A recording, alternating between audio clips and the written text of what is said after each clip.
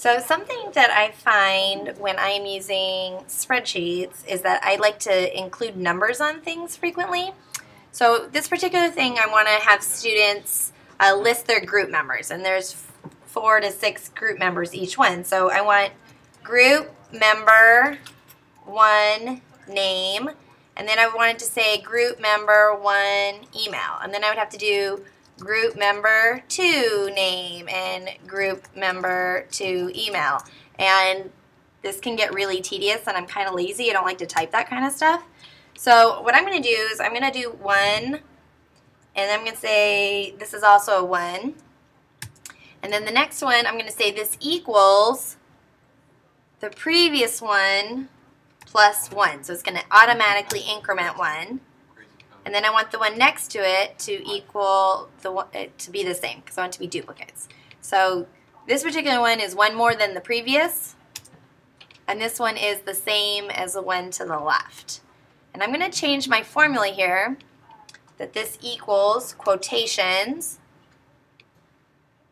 And then I want to end the quotation and I want to say this number below it. So it's group member space bar, that particular number, and quotation, space bar, um, name.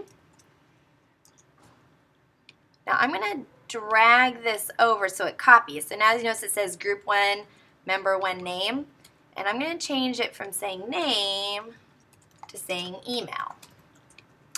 Now I'm going to take this 2, 2, and I'm going to pull this to the right, so it's going to finish my pattern. So it goes 2, 2, 3, 3, 4, 4, 5, 5, 6, 6. So I didn't have to type all those by hand.